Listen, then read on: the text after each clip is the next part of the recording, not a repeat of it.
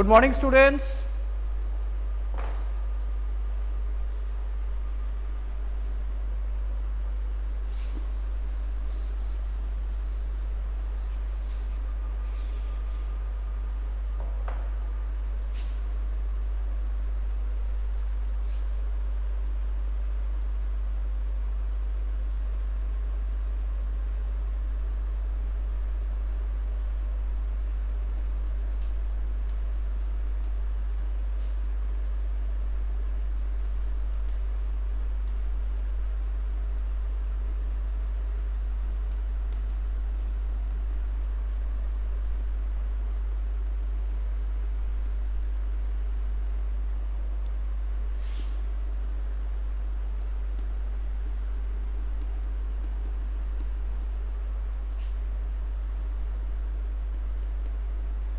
Okay students. How many present? Okay 15. Okay. So students today we are going to discuss the rest of the portion of your history chapter 2 and uh, previous class I have already discussed the how company become the nabobs. Now today we are going to discuss the how company rule expands. Okay. Company rule expands.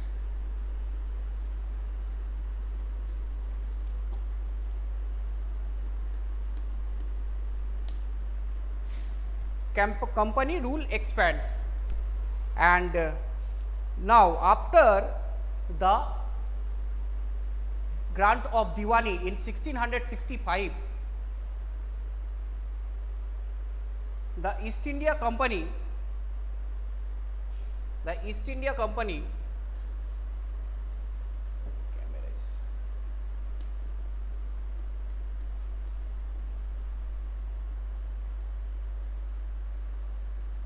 Okay the East India Company got the right to collect the revenue from the Bengal, Bihar and Orissa and it helped them to progress in their military expeditions that from 1500 after the battle of Plassey and battle of Buxar from 1557 to 1857 AD 1857 what happened? It is Sepoy mutiny. This 100 years they spread their territory by using various policies. Not only their military power as well as the other policies and the people, the British, the officials, they are very clever. These bureaucrats and officials, they use their brain power, they invent various policies and by using those policies one by one, they annexed the Indian states. And the company rarely launched at that time any direct military expedition or military attack on an unknown territory. Instead of they used variety of political, economic and diplomatic methods to extend its influence before ext uh, extending its Indian kingdom. So, after the battle of Buxar, you know the battle of Buxar happened in 1764 and they got the Diwani in 1765. The, the East India Company their political uh, they uh, appointed residents in Indian states. After that, they appointed residents in Indian states. What are the work of these residents? They were political or commercial agents and their job was to serve the only serve the further interest of the East India Company. They only serve for the East India Company, they always look after the profit as well as political as well as financial profit of the British East India Company. Use a variety of political economy, yes. Please give some ex examples with the Britishers used each of these policies. Okay, political, uh, okay. Political policies you have already know that uh, the battle of Plassey how they how did they use some critical uh, methods as well as uh, in the South India and the battle of Carnatic when the Nawab of uh, in the for the throne of Hyderabad and uh, in the throne of Arcot. Arcot is a small state today's uh, situated today's Tamil Nadu. It, it was situated in today's Tamil Nadu, Arcot. So, Arcot and Hyderabad, so they use various policies and they successful use uh, by and they different battles. They took the site of one the participants who wants to be a king then and they just uh, appointed those kings and successfully by various battles and political uh, poli some uh, political policies. So, this is the successful and these policies they used in Bengal against Sirajuddaulah they also against also successful. So, that is why this is the political uh, political policies. So, that is why they are called kingmakers. they want money that if you want to become a king then give us money I, I have uh, some policies we have some policies using these policies as well as our military forces will help you to become a king. So, this is the political policy as well as the economic policy they already know they how did they give a uh, lot of the uh, goods and lot of tributes to the Mughal emperor Jahangir and got uh, and as well as they got the right to trade in Surat and they also got the Diwani. So, in this way different different policies they use. Okay. And now if further we will read how these policies are. So, East India Company okay Oyorangsu East India Company was less powerful than Indian kingdom obviously at some extent they are less powerful, but they using their policies in a way that and they also collect their friends. They also led the Indian king, uh, kings against each other. So, they know there are disharmony among them. They always try to capture each other's territory, they are enmity. So, they use one against another and in this way they captured the entire Indian subcontinent. We will see that how did they happen, uh, how these things happened. Okay, sir, how did they use diplomatic methods? diplomatic methods like already know that uh, they, when they have in problem to establishing their uh, supremacy in Indian Ocean region, they also uh, make some marital relations with the uh, royal family of the Portugal. That Catherine of Braganza, they, their King Charles II married the Catherine of Braganza and in this way they got uh, the Bombay as a dowry so, they received the entire Bombay fort as a dowry. So, this is also diplomatic policy. So, they using different different policies, they are very clever. So, what happened? So, uh, what are the now, what are the duty of those political agents called the residents? So, the residents through the residents the company officials began interfering inside the internal affairs of Indian states and they also decide who will be the king and uh, the Indian states will make friendship or enmity to whom. They also decide these things and they try to decide who was to be the uh, who uh, was to be appointed in the other administrative posts also. So, this is very clever policy using by the East India Company. So, according uh, and uh, some and uh, this policy, this resident appointing resident, this idea is totally came from the mind of a British official and name of the official? Yes, Lord Arthur Wellesley. Arthur Wellesley, Lord, Lord Wellesley.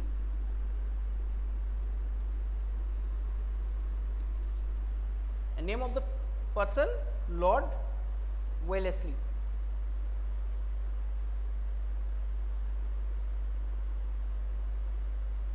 Sorry, it is Richard Wellesley. Arthur is the brother of Richard Wellesley and uh, Arthur also a British official and he fought many battles in uh, against Napoleon in Europe. You will read in next class, class 9 how Arthur Wellesley and those things, those officials they fought against the French ruler Napoleon Bonaparte. Okay.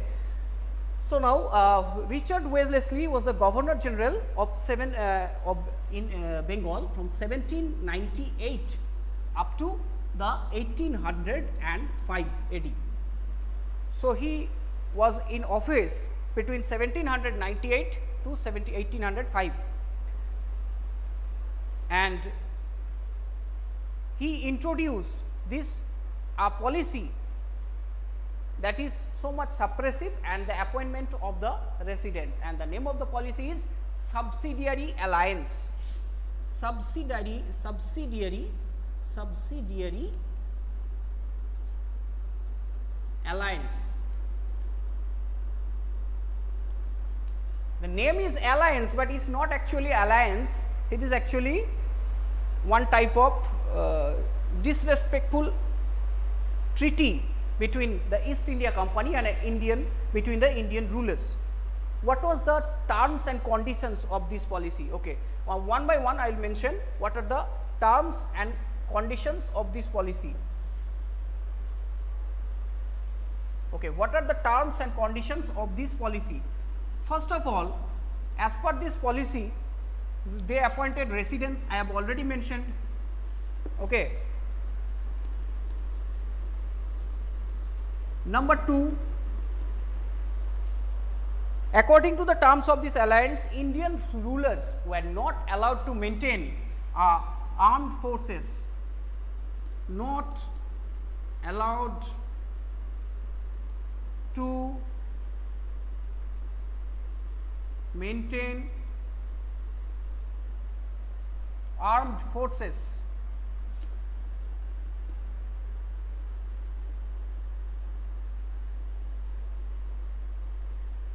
they are not allowed to maintain armed forces. Number 3, what is the number 3? Number 3 is they were to be protected by the company, but they had to pay for their subsidiary forces. A permanent troop, a troop of soldiers they permanently resides in the state of that particular king. And in the time of any attack, any foreign invasion, they, that, that army will save the king, but the king would not maintain okay, any type of army. So, this is the main clause of this subsidiary alliance and they had to pay for the army, pay for the subsidiary forces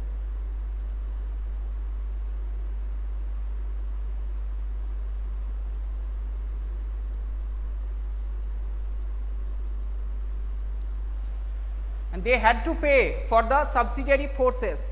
And if they failed to and if they fail to pay the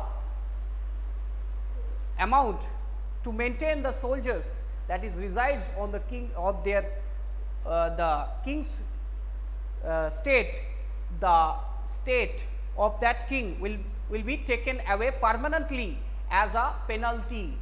So, it is very uh, suppressive policy. So, if you not if that king were not able to pay for the soldiers their state would taken away.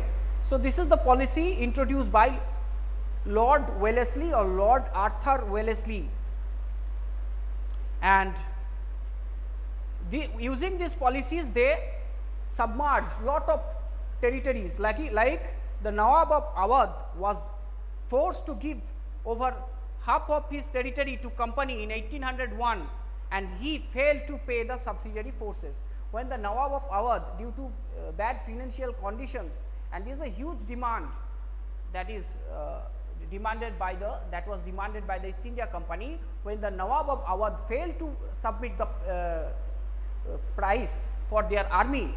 So, then their half of the territory taken away in 1801.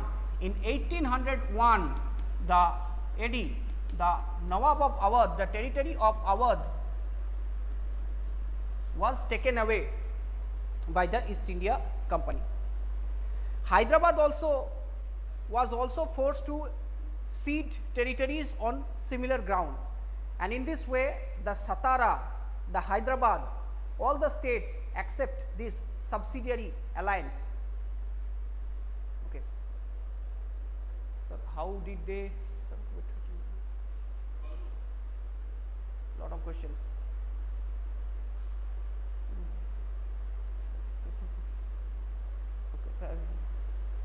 Sir, East India Company. Okay, this is sir. How did they? Okay, how did the company puppet ruler? How did the company want a puppet ruler? They want a puppet ruler who will follow their every instruction and do whatever they want. This is a puppet ruler such as Mir Jafar.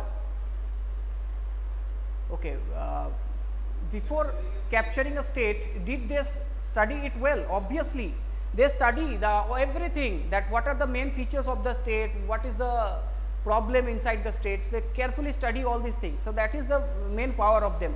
So, where the residents British or Indian? Obviously, the residents are the British, they are British officials as well as the army resides in the Indian uh, states, they also the foreign fo- soldiers, mostly they are foreign soldiers.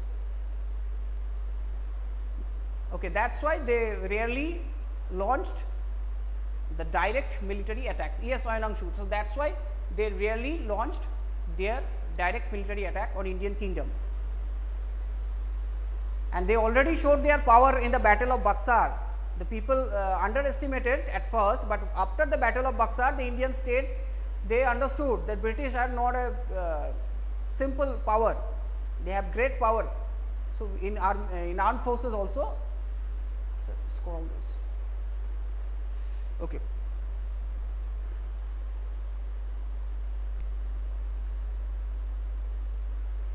Sir, if an Indian ruler, okay, just mean if an Indian ruler did not take the subsidiary forces, then what happened? If the Indian rulers they did not take the subsidiary forces, they had to uh, accept this. Because and otherwise they will uh, forcefully they taken over their territory. And these things happened in some cases. Like uh, the states of Jhansi also like I'll mm, okay.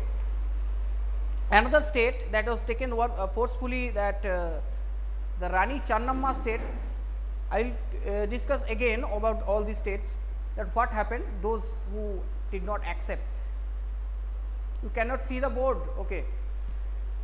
So no ruler raised their voices against these uh, alliance. Those who raised their voice against this uh, uh, against the uh, alliance they their territory was taken over. Otherwise at the time what happened? That all the kingdom there are some uh, some uh, people who wants to be a king. So they also communicate with those people that he wants to be a king. I will dethrone them. So those if you know, so someone somewhat uh, those people are the brothers of the king the uh, in-laws of the king the other people like uh, the cousins they wants to be a king. So that's why when anyone they not accept that uh, will not take this policy so they will dethrone and they terminated from the throne or killed secretly using the uh, some they assassinated by some people secretly. Okay. So there are a lot of examples. So all these policies are there. So then they place that king who, who is in the favor of the british authority Okay, sir, did the rebellion of 1857 took a massive turn? How were the Britishers able to suppress this huge revolt? This is the different thing when I discuss the chapter number 5, the Great Mutiny or Sepoy Mutiny, I will discuss how did they suppress those and what are the features of the movement of the revolt. Okay, how was Tipu Sultan killed? Okay, I will come that about the Tipu Sultan. Okay. So, if an Indian ruler did not take the subsidiary forces, uh, sir, it is necessary. Yes, I told you already. Uh, was the question? Just mean that if they not take the policy, they will make their cousin that someone else. They made king to uh, their family members. Okay. If they not willing, and uh, sometimes they killed secretly. So this type of policies they also used. In the case of Jhansi, they also use this type of uh, policies. Okay, Mir Qasim was also a puppet ruler.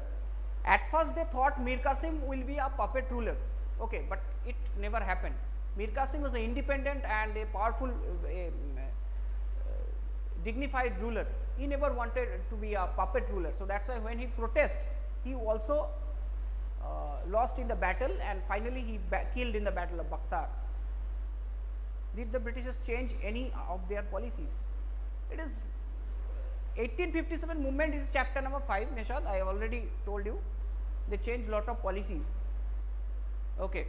So, now uh, what happened? We will uh, start then. Uh, the another unit another small uh, violet box is there in your book is page number 16 and in this box they mentioned what power did the residents have. That it is written that this is what James Mill, James Mill is a famous economist and political philosopher from subcontinent.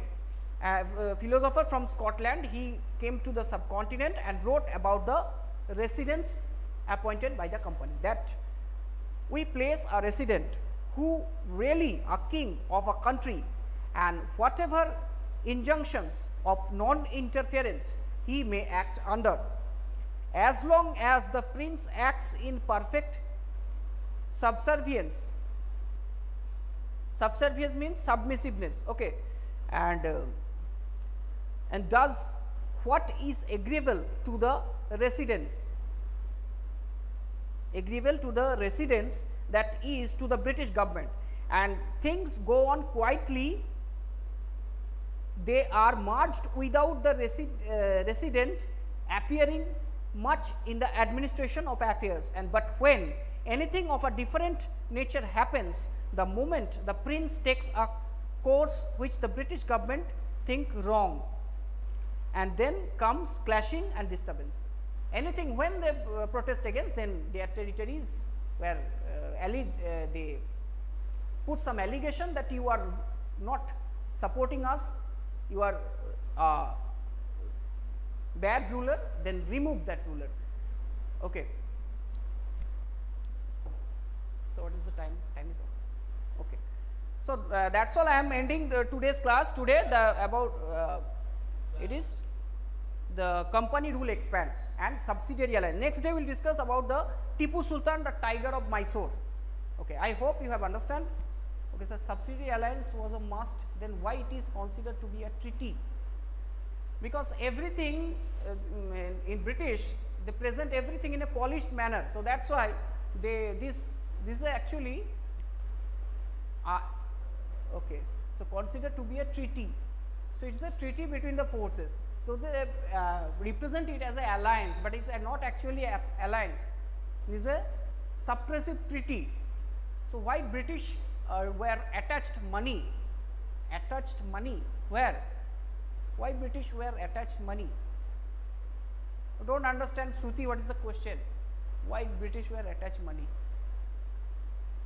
A junction in uh, disguised, a injunction in disguised. Yes, obviously, Nishad. Upasana, what caused the huge loss of revenue Bengal? Because they are private trade, they are illegal trade of the British officials. It creates a huge revenue loss for the Bengal. Upasana, I think you have understand what is the, you have understood what is the reason of the huge revenue loss for the Bengal. They continue their private trade and also uh, after the battle of Buxar and battle of Plassey they received a huge amount of money. After the battle of Buxar they received uh, 1 crore 70 lakh Indian uh, rupees at that time from the royal treasury of the Nawab of Bengal. So, it is a huge revenue loss not understand source 4 okay source 4 source 4 is described that uh, what are the power of the residents if you read this you can understand that what are the power of the residents? They are managed without the residents appearing much in the administration of affairs. But when anything of a different nature happens, the moment the prince takes a course which the British government think wrong, then comes clashing and disturbance. When prince takes his own decision, then he was uh, charged with a wrong allegation and he was removed. The same thing happened each and everywhere. Page 16. Yes. Vainangshu, uh, you are you understand this one? The source for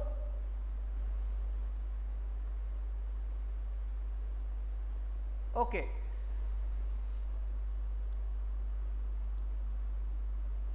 So that's all from today's class. Next day we'll discuss the Tipu Sultan, the tiger of Mysore. Thank you for watching.